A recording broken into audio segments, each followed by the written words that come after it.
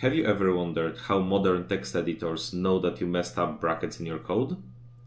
This is actually a coding problem that you might get asked during your next coding interview, and I'll show you how to solve this. First, let's define what we mean by valid bracket string.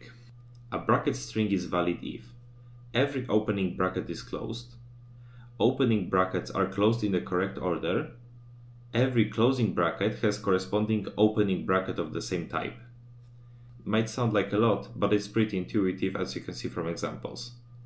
So how do we solve it? Let's create an empty stack and iterate through the bracket string. If we encounter an opening bracket, we place it on top. If we encounter a closing bracket, we have to have a correct opening bracket on top of the stack, and then we pop it.